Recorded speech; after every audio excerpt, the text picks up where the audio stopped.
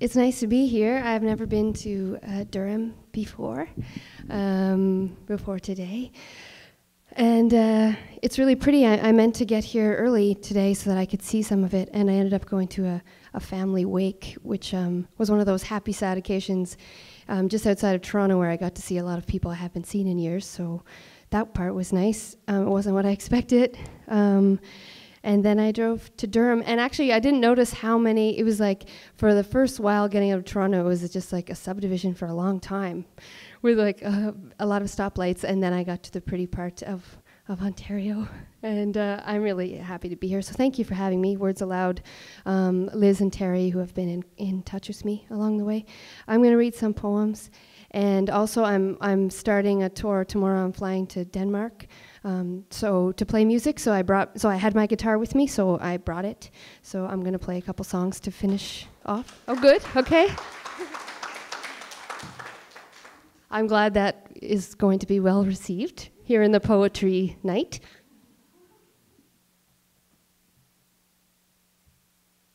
Um, I'll start by telling you a little bit about myself. Subtlety was never my specialty. And so, without much thought to consequence, I showed my heart and soul to many. I left little guessing I was that book lying open in full view, unprotected. Some people told me I should close it up. At least choose more carefully which pages to show, maybe don't expose so much. Apparently, there is an appropriate amount of sharing, and I overdo it. People are only comfortable up to a certain point, and yet I go right through it. Well, maybe I missed the training. That day they went over closed book and open book and how much was too much information. Or else I was there, but the lesson must have lost me. Because I thought its elements were slightly off, and how could they possibly be the same for us all? These days I am trying to find a fine balance with this. Give people a view of my sincere self while keeping some things concealed within. Because I was told that I should. And I'm curious to see what it might get me, and I'm hoping it could be something good, like improved defenses or a heart less tormented. Because if I didn't let as many people in it to begin with, I would be less likely to be injured when they left it. If I could be more subtle, no one would know when I was broken. As it stands right now, though, I tend to break right open spill out over coffee shop tables, and try not to be noticed by the other patrons because people don't like to see random strangers crying. It makes them anxious. if I could be more subtle, I wouldn't make anybody anxious. I wouldn't make them order their coffees to take away because they were afraid if they got them to stay, I would ask to borrow their hankies. I would be normal, meaning discreet, and this could be sort of amazing. But subtlety was never my specialty, and so maybe it's gonna be hard to suddenly start changing, holding people away, knowing when to keep them out and when to bring them close and how to differentiate. Anyway, I want people to know me. And so that means the whole me, all the many parts of me, the fragile and the tortured and the happy human heart in me. And so subtlety is just never going to be my specialty. Thank you.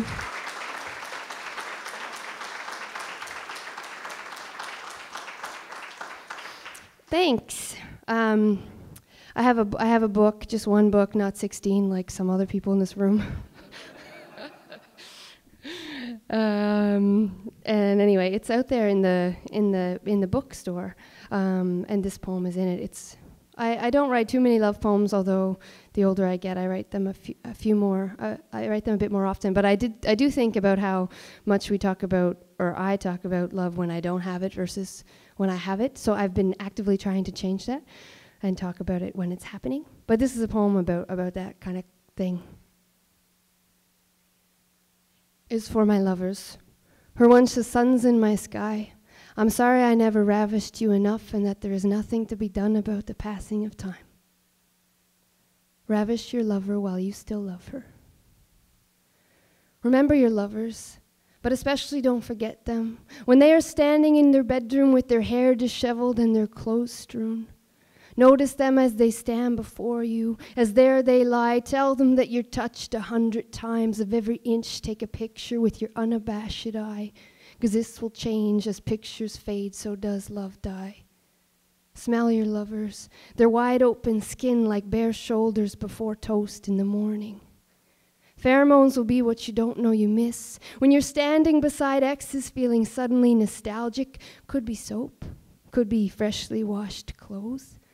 Most likely, though, it's the mix of hidden chemicals. That silent scent that perfumers will never get, but you will remember it long after love goes, so hold your lovers close. When you're drifting off, sharing oxygen and oxytocin both. Memorize the napes of their necks, the crooks of their wrists, the way their breathing rises and falls. Knees only get cuddled in one kind of spot. And they will miss this once the spoon is gone, like you will miss the puzzle when you don't get to be a part. And so while you are, with limbs entangled in ways that warm your heart, remember to notice this. So that the last night doesn't go by without you noticing, and only in the sunshine do you know these things. While you pine for one more chance to lay with your loved one when night is falling. This is a plea mostly for me, so I may remember next time I am to be a puzzle piece. Also for the lovers I have held and known, who have been my comforts as well as my abrasions. I remember the days our skin was first waking, and of the love we made then, like we were scorched earth and it was raining.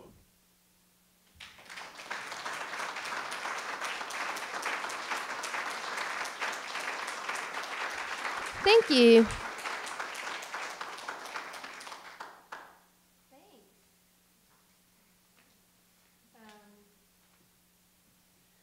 We got to eat Chinese food for dinner.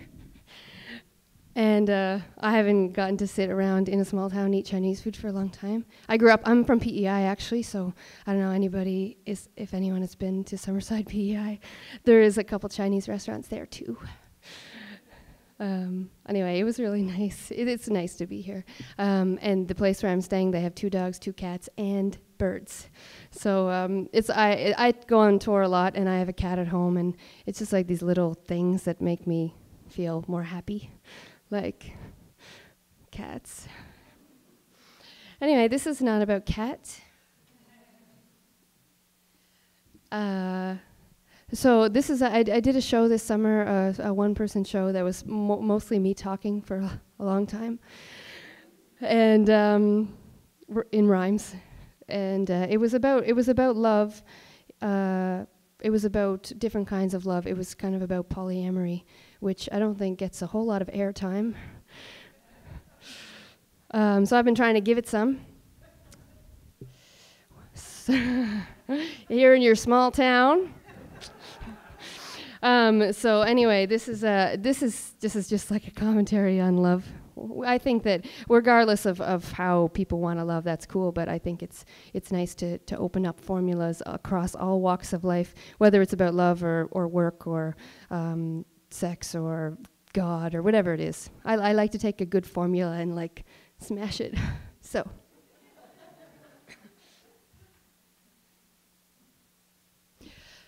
Love looks like this a partnership, a man and woman with a little kid, a hand holding couple headed towards marriage, two lesbians, two gay men. One plus one makes two, that's just mathematics. Two is the only unit worth having, that's just the fact of it. The fact is, love looks like this. A picture of a happy pair standing in the sunset there. Now, they have found their one. Now, all their cares are done. Or at least if they are not all gone, they are lessened because they solved the big one. Love looks like the movies. Love sounds like the symphony during a movement very moving. Love reads like a novel, truly, and also it's your duty to find it. Love is a quest. Don't you know you're on it? Don't you know it's complicated and difficult and elusive and painful, and you'll be ridiculed for failing, so don't fail now.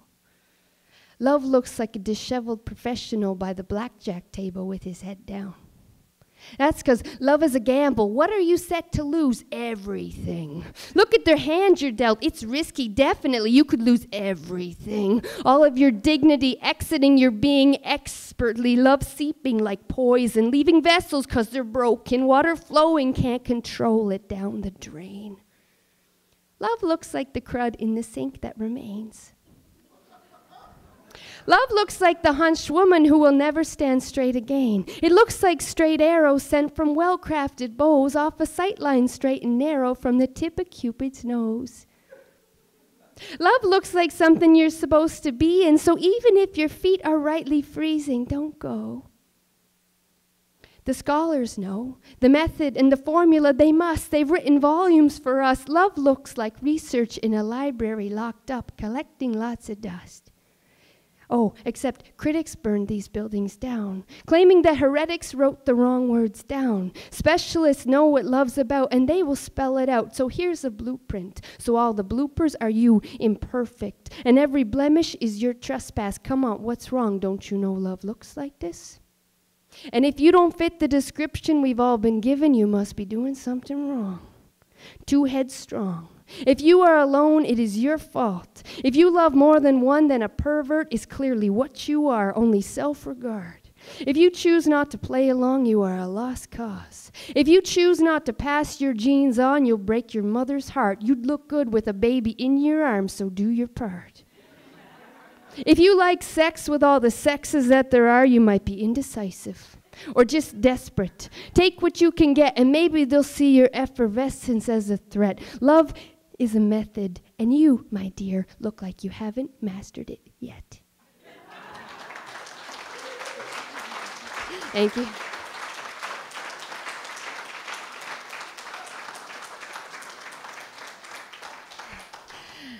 Thanks. So uh, I wonder what else I can tell you about myself in this next 20 minutes. Probably a lot of things, but um, okay, so I, I, I hitchhiked out to Vancouver once and became a hippie for a while, and that was fun. and uh, and I, I, but I grew up in a Catholic family on PEI, and I was I was a super Catholic. I said prayers until I was 20 every night, and uh, so I have a lot of like things got really messy inside my head for a while. Uh, not messy anymore. It's all like I got it so together now. Okay.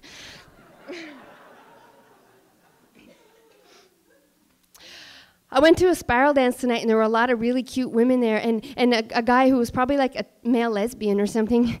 And, and then afterwards, there was this potluck, and I got so full because I ate so much food. And, and I wore this really awesome skirt that I stole from Valley Village. I definitely felt moved.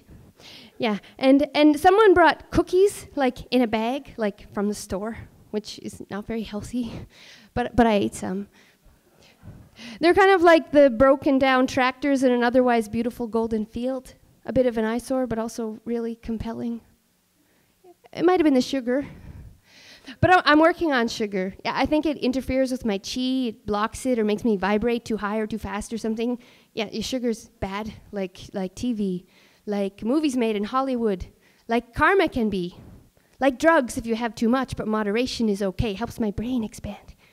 Anyway, so at this dance, me and some friends decided to start a little mini coven, except for learning what it means to be pagan inste- instead of having rituals and strict dedications.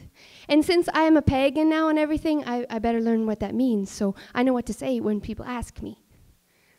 It's not just about making vows in the night or little black cats, although I love little black cats. No, it's, it's more than that. It's, uh, it's dirt, earth. Yeah. yeah. Being on it, G- good on it, to it, being good to it. Yeah, that's important. Because it is like my mother, I am to it umbilically corded. Actually, I just want to feel connected. I've been trying really hard for a long time. And when I left my old religion, it was like I stabbed myself, but I didn't get to die. And now I have a scar and some residual pain, and I would like a new faith to stand beside. And it could be the umbrella and life's the rain, and I'm the bougie lady who just wishes to stay dry. Can you blame me? Really? Some people have warned me, scorned me for exploring, and I remain courteous as I tend to do. But if I was bold, I would have told them what my soul was going through. Listen, it is lonely in the doldrums, and I'm tired. And I've been a solo practitioner for a while now, except all that I am practicing is not practicing anything at all. I know it is cool these days to say you are an atheist, but I have no faith in this. I know creationism is just a story based in fantastical glory, but atheism is just a story too, or else it is the page left blank, and that is no more true, that is boring news.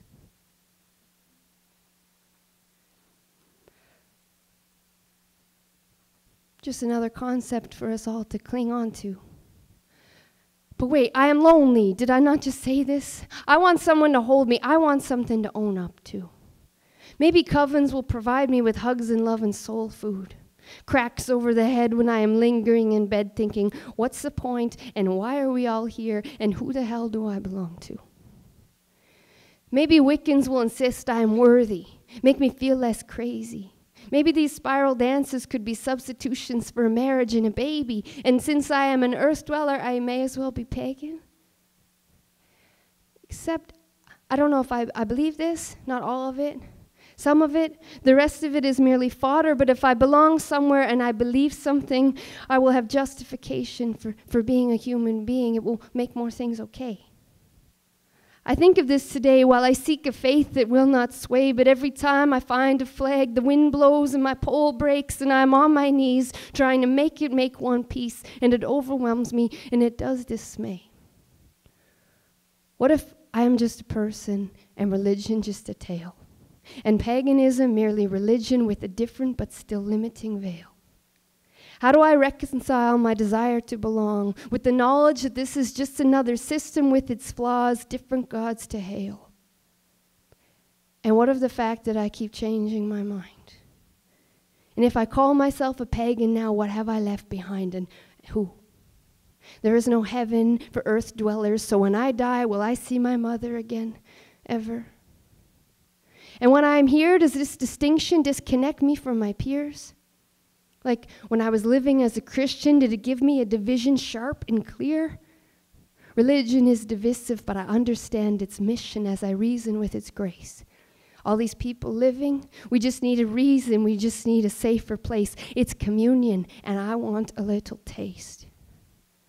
So I go exploring again, surround myself with Buddhists. It's no surprise I don't fit here either. I am only Buddhish. I meditate just for 12 minutes, eat my food too fast while reading the cereal box ingredients, obsessively thinking about the greater meaning of things there is crowding on my internal highways, and I don't like their holidays as much as Christmas. Shit, I get no presents, I must be selfish. or else I am spiritually unhealthy, unworthy, or else I keep searching and nothing measures up. To what? I just want a little bit of love, or else a whole lot or an explanation for humanity, I mean the whole lot. I want to reach my arms out somewhere and belong, someone to calm my thoughts. I went to a spiral dance one night, and then I got dizzy, and then I got lost.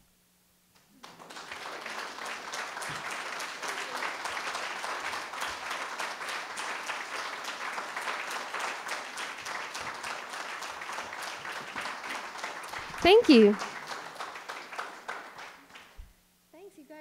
You guys are as nice as they all said.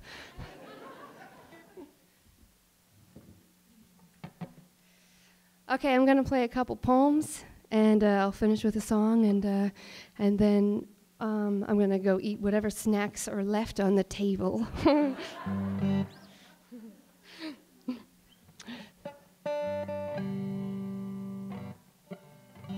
Um, thanks for uh, bringing this amp. I brought my guitar, but I didn't have an amplifier, so uh, Randy provided it. Thank you.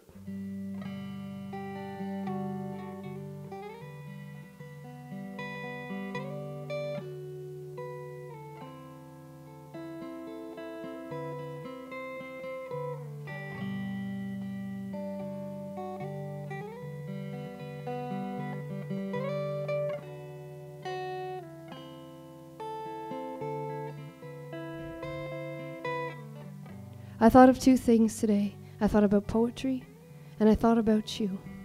And extensions of these two things, like poetry about you and poems that you'd fit into. Poetics we enacted last night with such passion, and where that might in fact lead to. Now that last night is through, and I sit here alone this afternoon, and I don't know where you sit or with whom. I thought of poems I might compose, where this might go between us now, how slow. I thought about not thinking about you, but that didn't seem to happen like I wanted it to.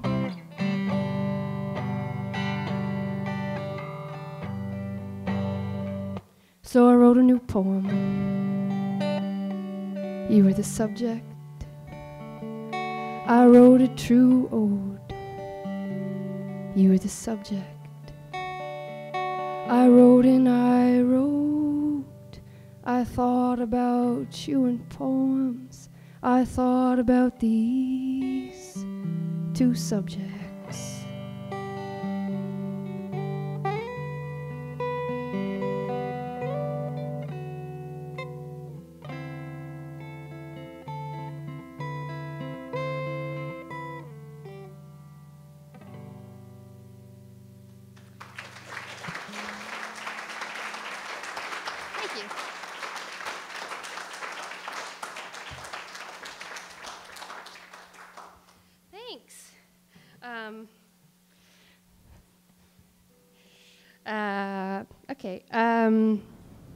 Sneak a song in. This this isn't even a poem at all. I'm not even going to pretend this is a poem. Sometime I, I do. Um, so when I lived in Vancouver, after I was a hippie, I became an activist. Uh, for a while, uh, trying out, I just try out a bunch of identities until I get tired and try something else. I change a lot, basically. Um, uh, I'm pro change. And uh, while I was there, I tried to work in offices, uh, in nonprofit, like doing good work for, for people. And I really was really very bad at it. And um, so then I, I got I developed quite a guilt complex. I felt I felt shitty for doing good work and getting paid and being no good at it. Like, oh, it was awful. so I would I would kind of wake up and cry and then come home and cry.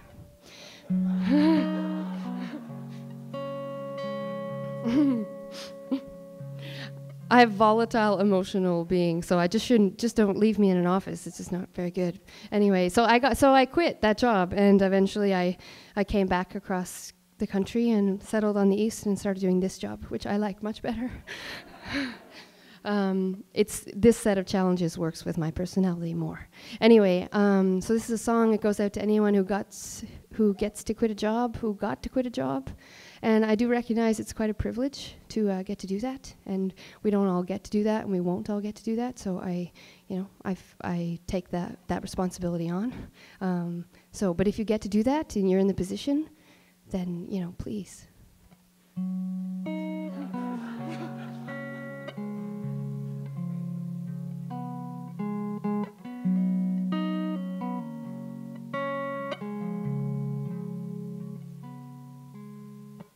Some of the people thought that I was crazy for leaving all that. But they didn't see me at seven in the morning in the months before I left. Within a few minutes of opening my eyes, there was the dread of the day. Sitting by my bed, waiting for me to rise and pretend like everything's okay.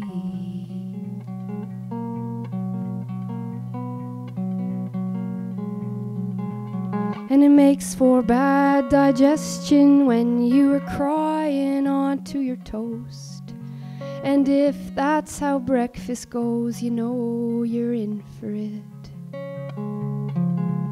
And I had no intentions then, go to work and come back home. My steps heavy and slow every minute of it.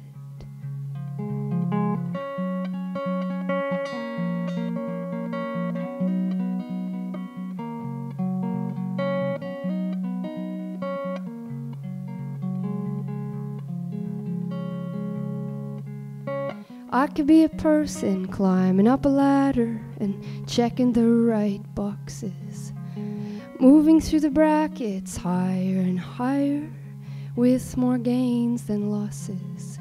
And I could have a cottage in a pretty spot and make it there twice a year. And all the other months in the city with my job, my money, my tears, oh.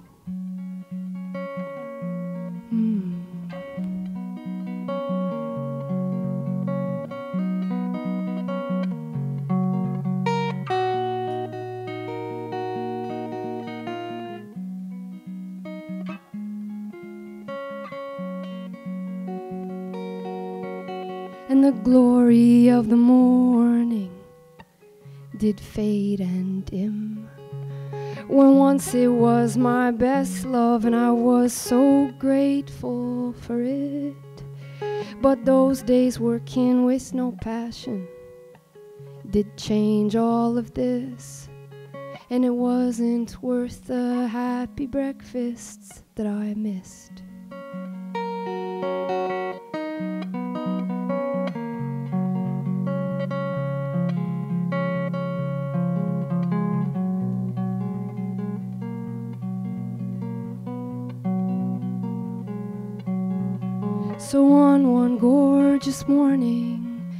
Told them I was leaving. And it was so relieving to say it out. And I worked hard all afternoon and the weeks before the leaving.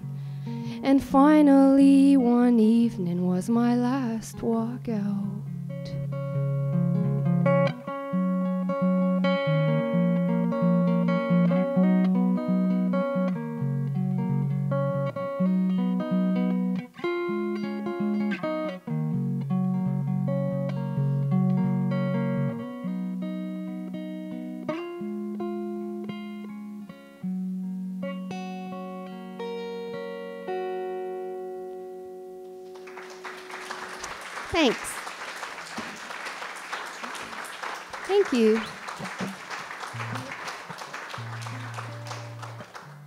So I just have one more uh, thing to play for you. Um, again, thanks to Words Aloud 9 for having me here. Um, if anybody knows anyone in Copenhagen, I'm playing on Vush Vush Street at bar blah blah blah tomorrow, uh, Saturday night, uh, Sunday night. um, I'm sure it'll be an adventure. um, my name's Tanya Davis. I'm from Halifax. Uh, I also should mention I have a couple CDs. They're in the book room, um, but I'm going to take them away when I leave because I need to bring them back to my guitar case to leave this town. So if you want any after the show, you can buy them. Uh, but I think my books will be around for the weekend, but my CDs um, they won't be. So just and I'm on the I'm Googleable, so you know no pressure or anything. I'm on the internet. been a pleasure. This is a song called Art. It's about art. Art was a man my mother thought I met. no. She was really happy when she heard this song. She's like, Who's Art?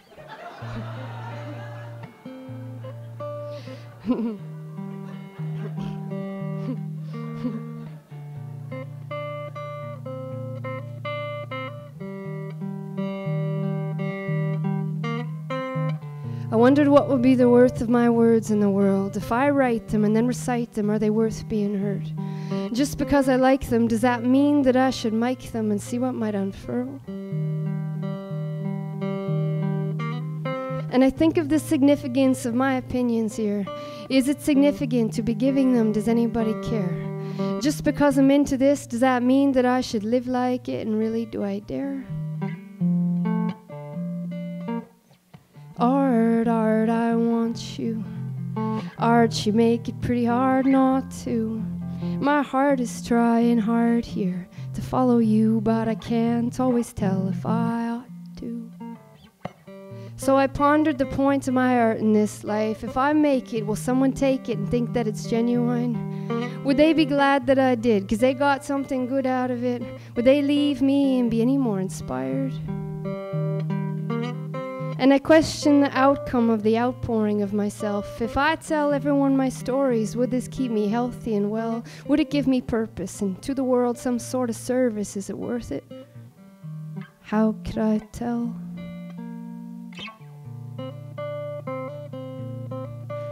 this would be the part where um, my drummer would be playing a really awesome solo. um, but instead, uh, I just want to thank all the other poets and readers and people who did beautiful things. I feel inspired.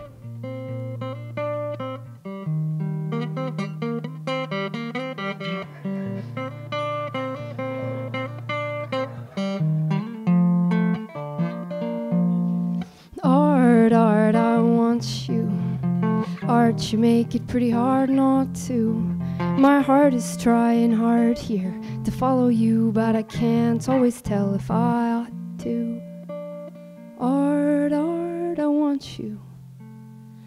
Art, you make it pretty hard not to.